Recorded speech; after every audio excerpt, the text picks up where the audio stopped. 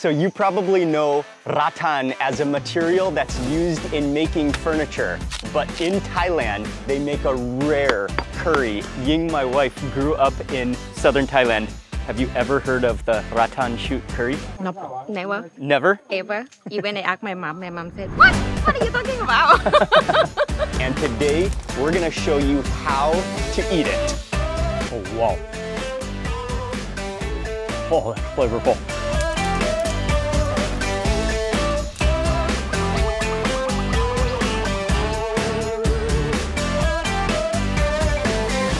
But really quickly, first, how did we get here? In order to support local communities and highlight their unique food, the Tourism Authority of Thailand has recently announced Thailand's hidden dishes, which includes five rarely seen Thai dishes that come from five lesser visited provinces. And they asked me to travel across Thailand to eat all of them. Over the last 10 days, I've traveled across Thailand to eat Thailand's hidden dishes. wow. From the mountains of Chiang Rai to the toddy palms of Phetchaburi. But today we're going deep into the jungle of southern Thailand to cook and eat a dish that's so rare, few Thais have even heard of it. Hey everyone, it's Mark Wiens and welcome to Trang in southern Thailand. And we're actually on our way to the province of Phatthalung for the hidden dish. But the closest airport is in Trang, so we caught an early morning flight. We're on our way to Trang. We landed here in Trang, we picked up a rental car, and while we're here, actually this is a breakfast capital. As soon as you sit down, they bring you a tray of dim sum to choose from so I thought we should stop for breakfast before we head to Phatthalung.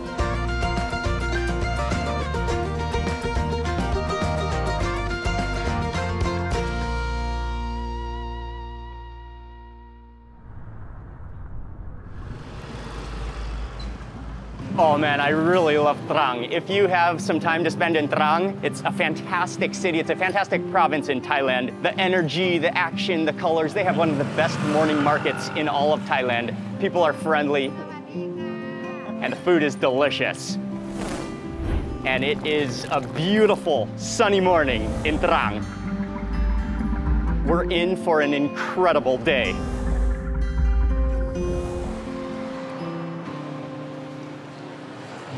Okay, so we are gonna have a real Trang style breakfast here at Trang Moo Yang. And it's literally as soon as you sit down, they bring you a tray of dim sum to choose from. I absolutely love this place. It's a classic, it's a legendary Trang institution, breakfast institution. So there's all sorts of unique creations, and I'll just start putting a few on the table. I think we'll go for the rice cake, a variety of kanam jeeps, these are like the little dumplings, shumai dumplings. I like the bitter melon hakao, which I think is shrimp on the inside. You know, the, Ying wants the salapao, the, the buns. And then I think also you gotta try, this is also super trang style, the fried egg rolls, which are definitely unique, and then the vegetables. And I think I'll go first for one of the kanam jeeps. These are the, the shumai, trang style.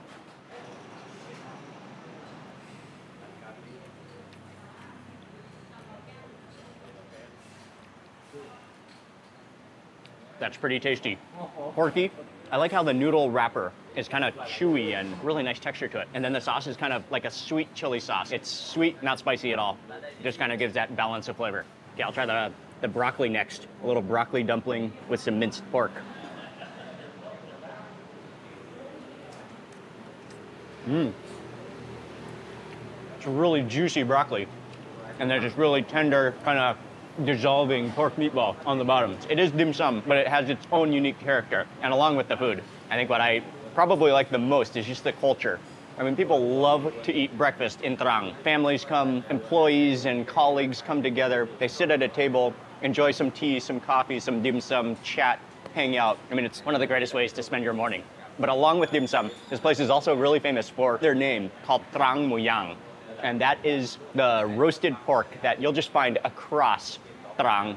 And if you ask any person from Thailand what to eat in Trang, the first thing that's gonna come to mind is the Trang style moo yang, roasted pig. They roast the whole pig, they marinate it in a variety of spices like soy sauce, star anise. There's a huge amount of spices in it, and typically it's quite sweet So this place is known for their moo yang, and it's all sitting up there at the front. You can see all of like the pork from the inside just glistening, and even the way they cut it is very unique. They score it so it has these little kind of like little fingers coming out of the pork. Just let it seep in all of that marinade, all of that flavor, and then they roast it so the skin is extra crispy. She sliced this up a fresh plate, chopped us up a fresh plate. You could just hear the crackling of that skin. So here we go. You check this now when you get a piece, you'll see that it has the meat on the bottom. So it's got the belly section. Then it has fat, variety of layers of fat, and then the skin on the top, giving it all those crispy, all those different layers of texture and flavor. Mm. Oh wow. Oh, that's extremely tasty. It is sweet. All, all Trang Moo Yang is sweet. This one might not be as sweet as some that we've tasted though. It's almost like candy pork, but then at the same time you really taste the spices, especially coming through the, the star anise. It almost has a little bit of a cumin flavor to it to me. You've got the incredibly crispy skin, the fat that melts in your mouth, and then the meat and the smokiness as well. All of those caramelized sugars and ingredients just totally absorbed into the pork. Well, that's tasty. Let's try another piece of the, just straight up the skin. Yeah, it's so crispy. Mm. And I'm getting some black pepper in that bite as well. Black pepper, star anise, there's varieties of soy sauce, the sweet caramelized sugar, the porkiness. And then with all the rich porkiness, definitely wash it down with some hot Chinese tea. Got the congee, and it comes really nicely decorated. There's some chili oil, there's some garlic, there's some ginger on top with an egg on the inside. So you stir it all around.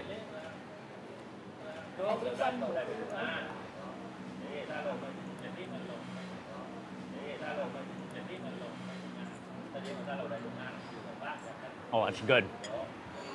I was debating whether I should try this or not. I really wanted to, but then I was like, oh man, we have so much food to eat today. But the owner, they're so, and by the way, I should mention that the owner family here, they're so nice. They're so welcoming. Uh, this is family run, and they brought over a plate of kanamjin namyapu. So this is another classic breakfast that you'll find, I mean, throughout southern Thailand. It is soft rice noodles, which then has a coconut milk-based curry with crab in it. And this is, oh man, it's one of the greatest things to eat in the morning for breakfast.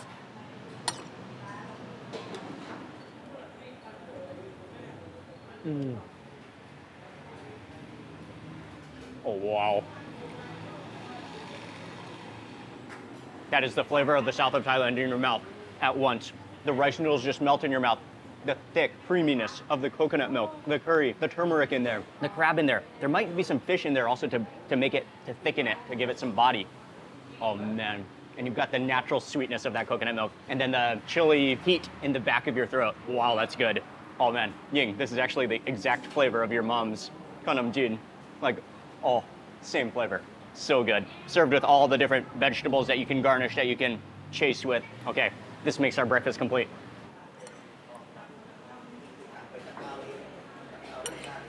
Mmm. Mmm. And let's taste. And always one of my personal favorites are the cashew tree leaves. Because they're immediately sour. And then they have this unique chalkiness that kind of coats your mouth. Which is just one of the many reasons I love Southern Thailand. Oh, that went down so easily. I couldn't put down my spoon. So good. Oh yeah. Happiness. Chase. Oh. Oh, what a breakfast. Oh, sweating in the morning. All that digestion, all that pork, delicious breakfast in Trang. And we are now on our way to the main event to Phatthalung. I think it's gonna be about an hour to get where we are going because we're not actually driving all the way to the town of Phatthalung. Uh, we're driving to go meet our friend P'Ju in the jungle of Phatthalung. This is gonna be an incredible experience. Okay, here we go. I think it should be about a one hour drive. Actually, one more really quick stop before we head to Phatthalung. Palang Black Cup. Kapun Makap. Mmm. Fantastic coffee, really friendly owner, highly recommended. Okay, we're on our way to Phatthalung.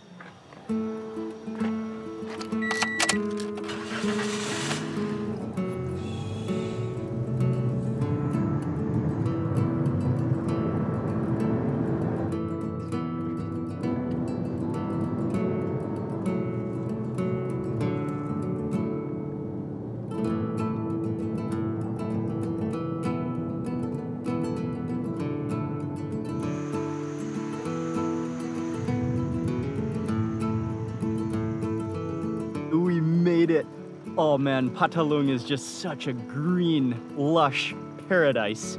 The jungle here is pristine.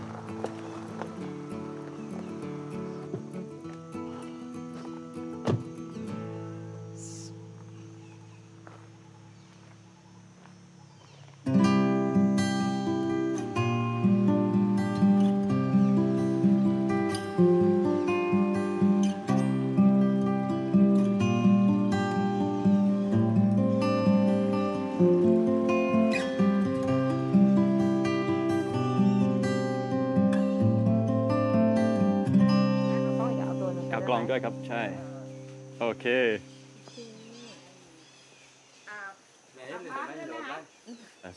Okay, up.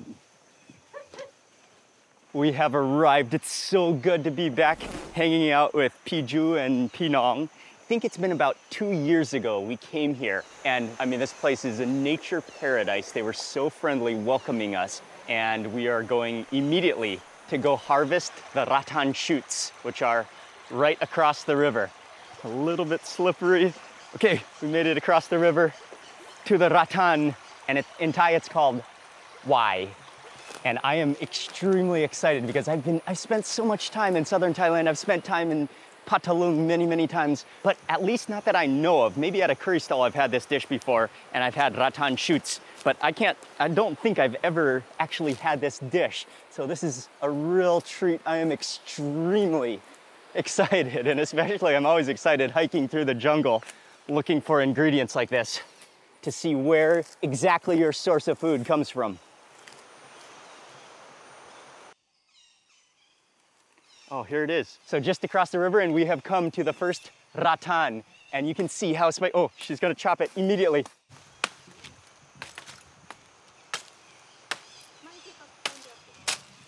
It's extremely spiky.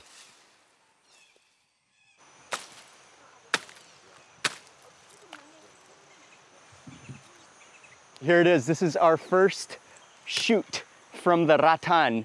And again, it's so incredibly spiky, like huge thorns. Oh, I have a, a stick insect on me.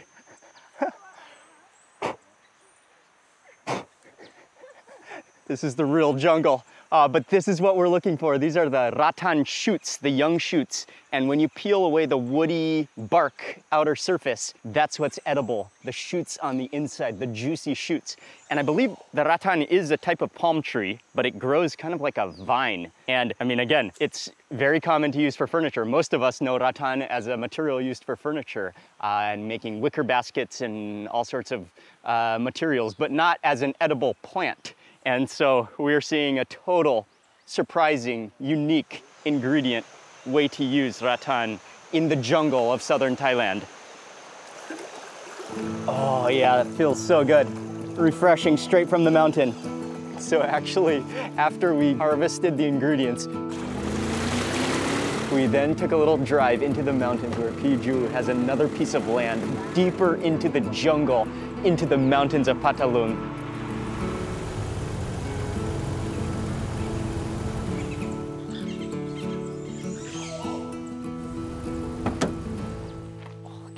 Ingredients. Look, the entire truck is just filled with green things from the jungle. Yes, my favorite ingredient on earth, stink beans. So from the, from the car, the road ends on the dirt road and now we need to hike in. Oh, beautiful place. Wow, stunning. And so this is where we're gonna do the cooking.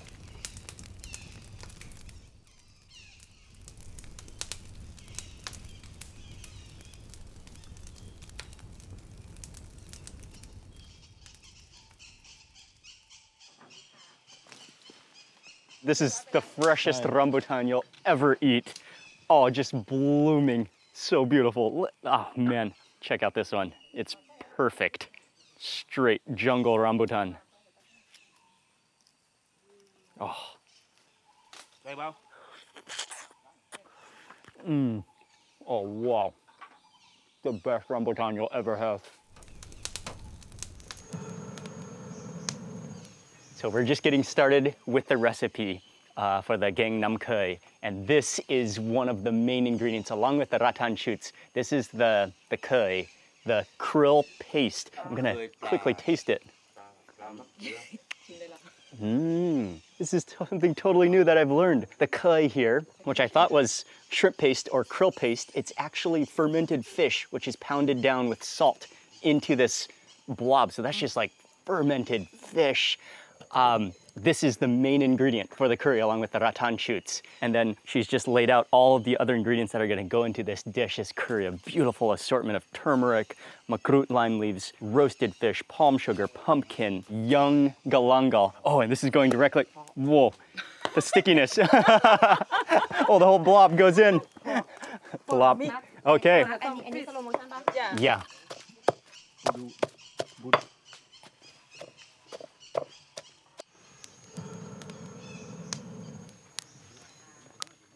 And the ingredients list actually keeps on growing. She's keeping adding more ingredients.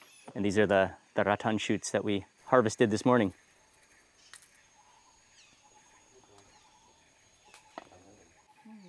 Oh, barbecue. barbecue durian. Yes. You want to eat? Oh, yes, please. Kapun kap.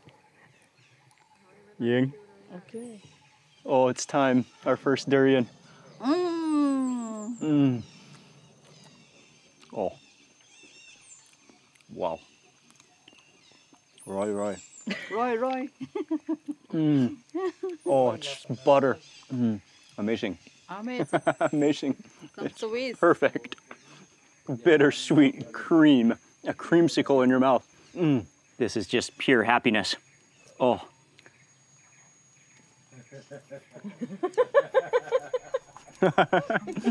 Talk about a kitchen snack right here.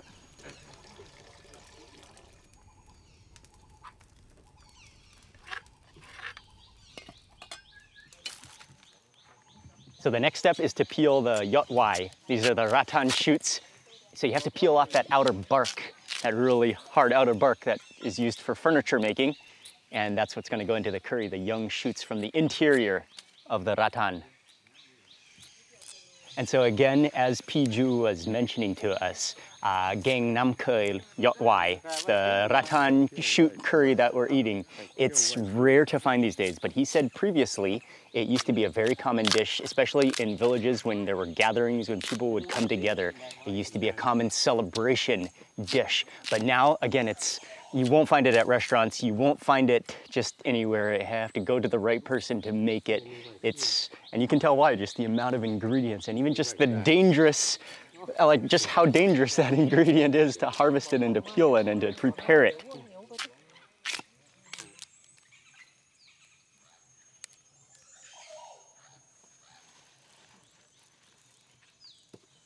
Rattan shoots are ready. Now back to the curry paste. She's gonna make a pound up first black pepper. A lot of black pepper is actually are actually traditionally used in the recipes in southern Thailand.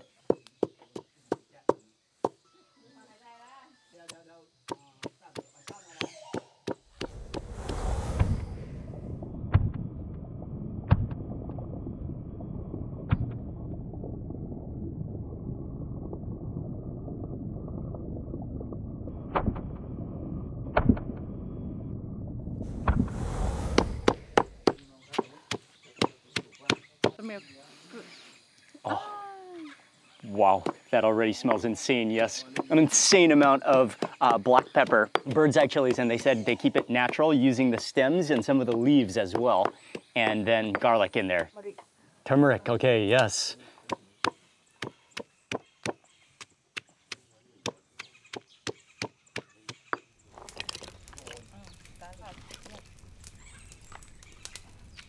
as we're continuing to pound the curry paste, uh, P'Nong just adds in garlic and lemongrass. Oh, and also galangal goes into the water.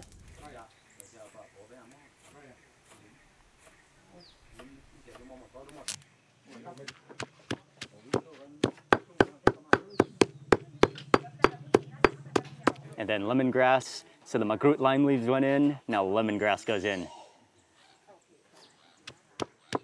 We need to take a moment to appreciate P'Nong's hand on the chilies. I've done that before, and my hand just burns on fire for like two days, and she just does it with ease. She said it doesn't bother her at all.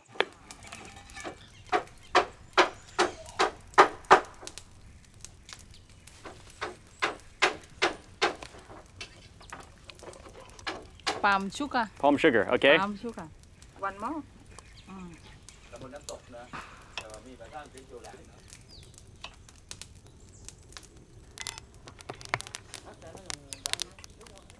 ม Oh wow.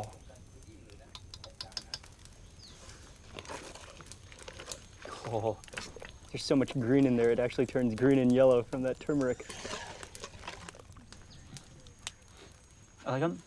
Wait, this is the ใช่ this is the yot yot wai ยอดหวายใช่ yot wai. Why do you have to thumb? Is it like hard or is it uh?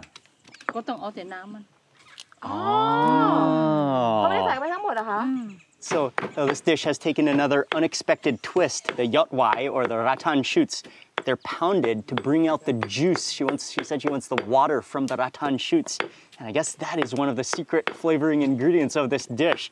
Um, and then she's gonna boil that, and then since well, we'll have to wait and find out. But something like the chunky herbs will be then strained out of the broth so that it's clean, leaving all that flavor just infusing into the broth. And as those rattan shoots uh, touch oxygen, they just immediately oxidize. Oxidize, yeah, they turn red.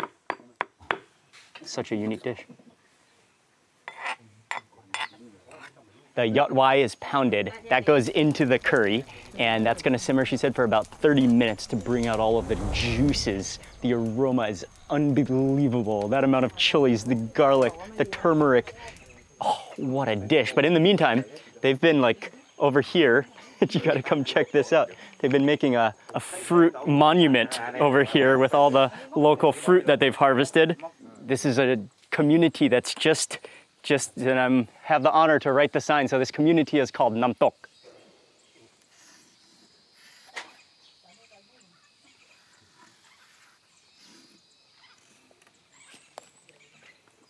The Namtok Ecotourism Community.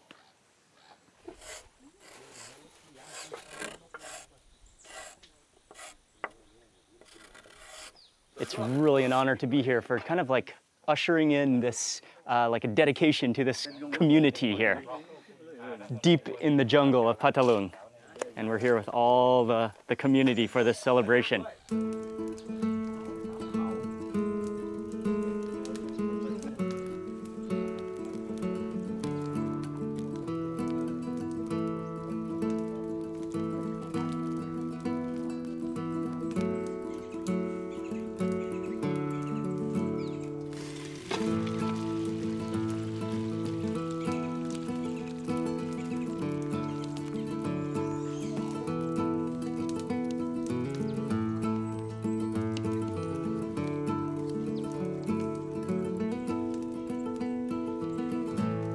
This dish, she wants a very clean broth. So actually that all gets sifted through, all the herbs get taken out. They've already served their purpose infusing that broth.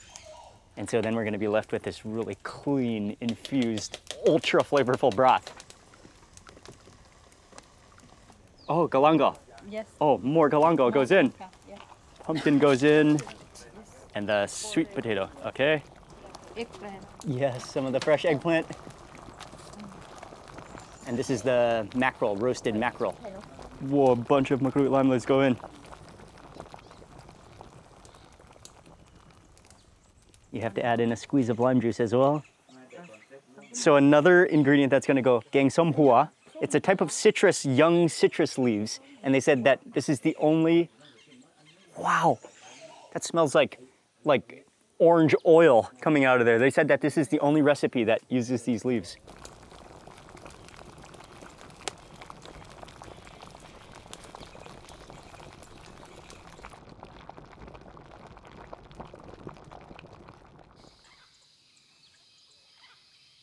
Mission complete. It is ready. The curry, Thailand's hidden dish from Phatthalung, Gang Nam Khơi Yot Wai, which is the Rattan Shoot curry.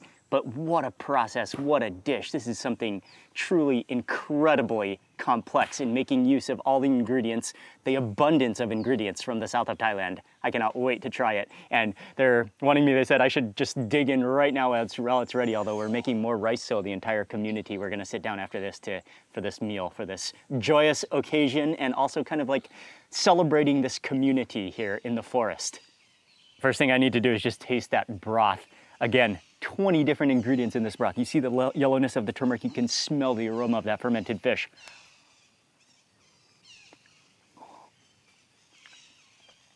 Oh, wow. Oh, that's a powerful flavor.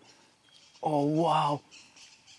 Powerful, but so unbelievably balanced. Spicy, turmeric, garlic, galangal. You've got that umami of the fermented fish, the sharp saltiness. Actually, you don't even really taste the sweetness, but you know that sweetness is there just balancing all those saltiness and all those ferocious, powerful ingredients. That's an unbelievable amount of condensed flavor. Oh, that's incredible. Then we, we've got fish, we've got the eggplant. I'm gonna put some of this onto my, to my rice. The pumpkin. Oh, that broth is just unbelievable. Literally, you could drink and savor that broth.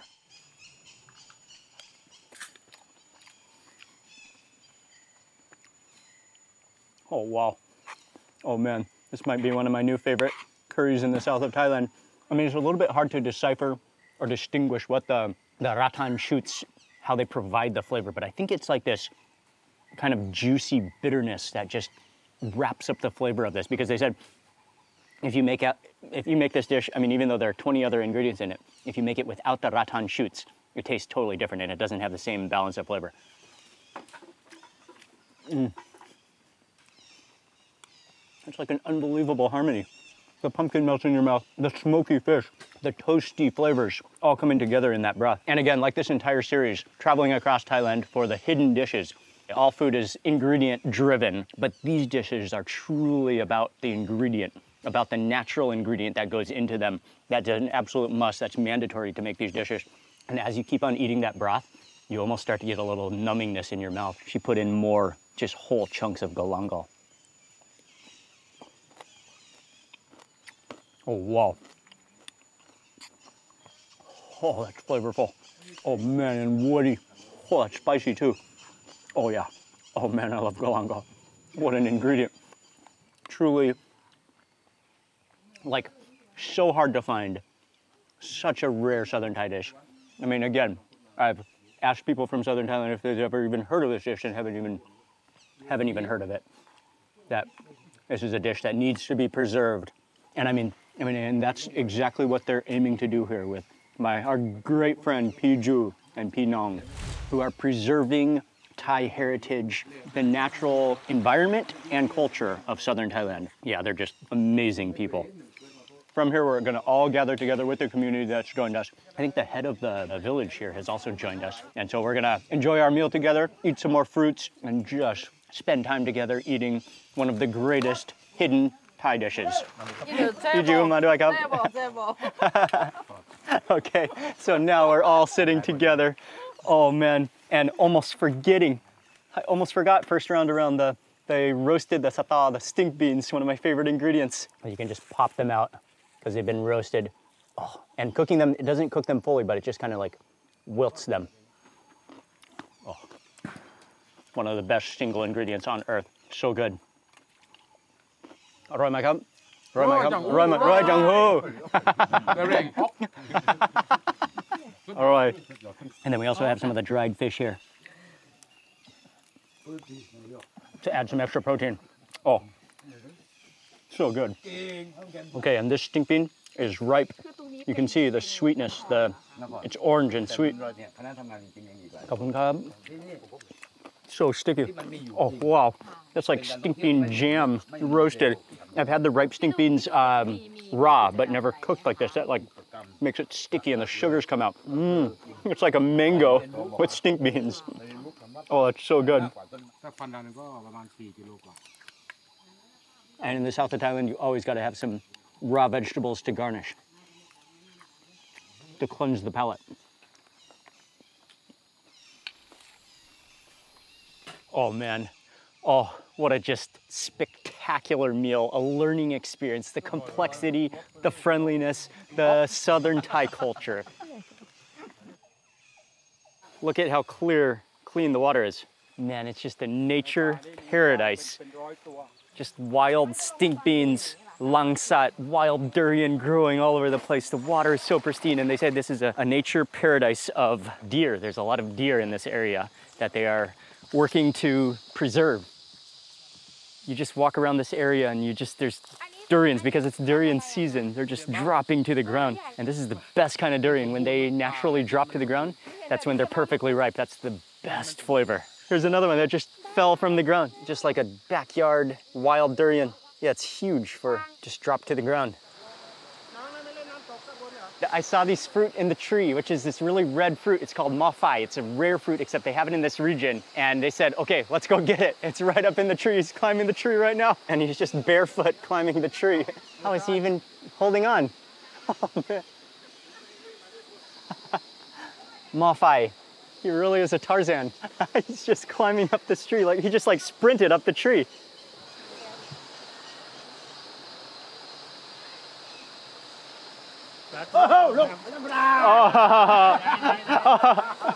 Oh, into the water. Nay. There it is. ขอบคุณครับ ขอบคุณครับเอาเยอะเลยอ๋อ มันมันลังสัตว์หวานไหมครับ หวานมาก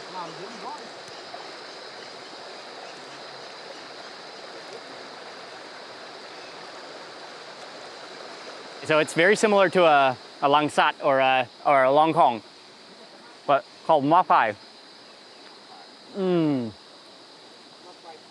Oh, that's delicious. Oh, it's wild, milky, and more sour than sweet. Oh, that's delicious. Mmm. Amazing. Absolutely a fruit paradise. What an incredible fruit. Oh, yeah. So this is our treehouse. And again, I mean, as we've seen today, it's just such a nature oriented, everything is built to surround nature. And so we have a, this is our treehouse cabin that we're spending the night in with a view of the river. You always will hear the flowing water from wherever you are, the peace, the nature. And that's, I mean, one of the characteristics about this place.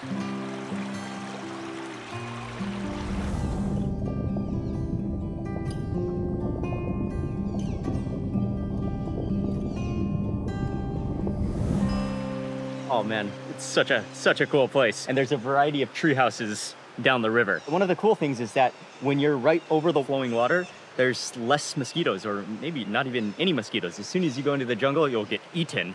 But right along the river, there's no mosquitoes.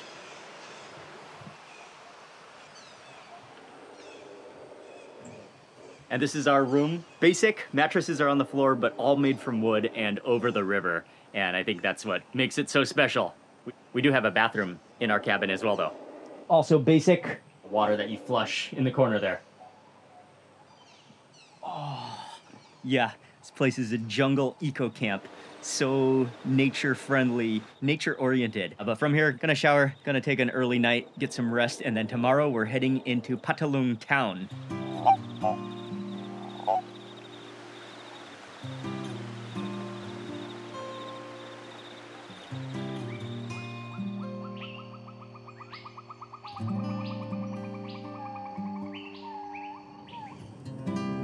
Had a nice relaxing morning and from here it's about a 40 minute drive for some more food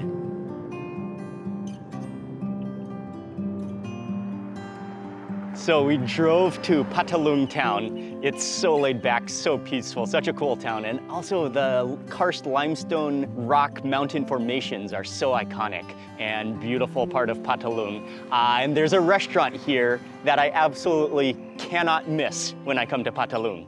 We came here a couple of years ago and made a video. And check this out. They've done a little renovation. Look who it is. Swadee krab, swadee krab. มาทางไหนเอาไหนหลงมายังไงวันนี้ ใช่กลับมากลับมาครับ ก่อน ขอบคุณมากครับ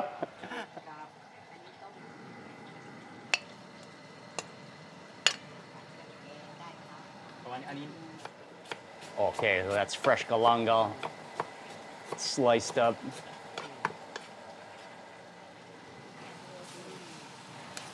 And one of the reasons the food is so good here is that they make all of their own curry pastes. They pound all the curry paste themselves. They control the ingredients so they know all the flavors that are going into their dishes, but they make it all themselves. And their recipe is very simple and very unique here. Freshwater prawns, she puts them into the just, that's just water. And almost instantaneously as it starts to boil, you can see the head butter juices, the oils. All the water actually turns red because of that head butter juices which are coming out into the water. And that's what gives it the flavor. That's what powers it, gives it the shrimpiness.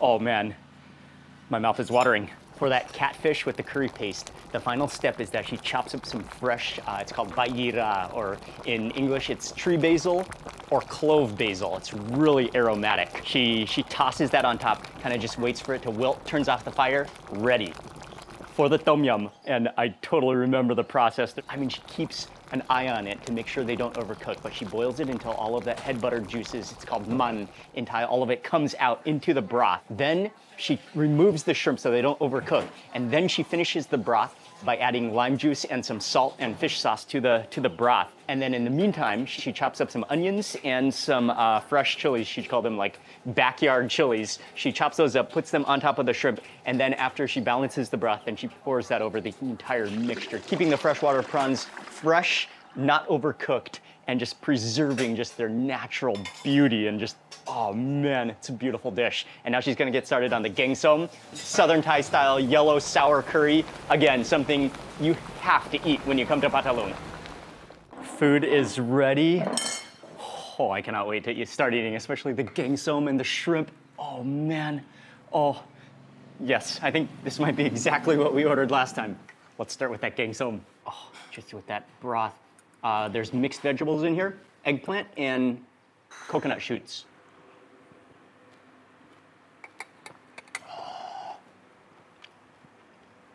Oh yes. Oh man, that's the flavor of the south of Thailand. And Phatthalung has some of the best turmeric in the south of Thailand. So vibrant, so pungent. The turmeric, the chilies, and then she adds in a lot of lime juice to make it sour. Oh man, that's a broth of wonders. Okay, and then of course their signature tom yum. Literally, that is so dark yellow, so orange, it almost looks like a duck yolk. And then I love how they add chilies, how they add chopped up onions in here into the broth. And again, sour from lime juice. Oh, oh wow. Mm-hmm. Same flavor. Those shrimp powering it. The head buttered juices, tamale, the richness of it, the crunch of the fresh onions, the freshness of the fresh chilies. Oh, it's so good. Going in. Look at look at how big it is. And the actual the, sh the shell has been peeled off, so revealing the entire body underneath. Oh, look, look at all the the oil coming out. Did you see that? like a waterfall of it was like a, a lava cake erupting. Oh wow. Mm-hmm. Put that onto the rice. You can mix it with the the prawn. Mm. Literally just melts in your mouth. And then we also do have some some satao, some stink beans on the table. One of my favorite ingredients on earth. Oh yeah. Never get old. I can eat them every single day. They're healthy, they're full of nutrition, and then just that kind of like bitter juiciness that comes out of them. Okay, and then we have the pad pet. This is the stir-fried curry paste with a type of catfish as well. Oh, and the fragrance of the bayira, the, the tree basil. And I think everything here is uh, freshwater, freshwater seafood. Oh, and I almost forgot about the galangal. Mmm. Oh, the galangal is incredible. The freshness of that clovey flavored tree basil, the fish, the curry paste has kind of this toasty, smoky flavor. And kind of sweet and spicy. Amazing home cooked family southern Thai food. Okay, but I'm going back to the gengsom.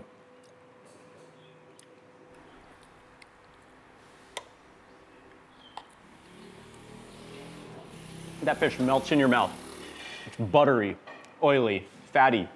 And then again, that, that curry, unbelievable.